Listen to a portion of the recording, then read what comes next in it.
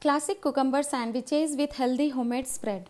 Do try this recipe यकीनन आपको इससे प्यार हो जाएगा। क्रीमी एंड फ्लेवरफुल स्प्रेड बनाने के लिए पनीर कर्ड एंड गार्लिक का एक स्मूथ पेस्ट बनाएँ। फिर इसमें ऐड करें salt black pepper spring onion and dill now cut the cucumber into thin slices but sandwiches को फैंसी बनाने के लिए एक पिलर की मदद से इसके पतले पतले रिबन्स पिल करें। अब इन रिबन्स को पेपर टॉवल में इस तरह रखें ताकि इसका एक्स्ट्रा वाटर सूख जाए। अब ब्रेड में लगाएँगे होममेड स्प्रेड कुकम्बर स्लाइसेस और एक और ब्रेड से इसे सैंडविच कर देंगे। Sandwiches are ready but to make it more impressive sandwiches के ऊपर एक क्लियर स्प्रेड एंड रिबन्स की लगाएँ। फिर शार्प नाइफ से साइड्स को कट कर दें।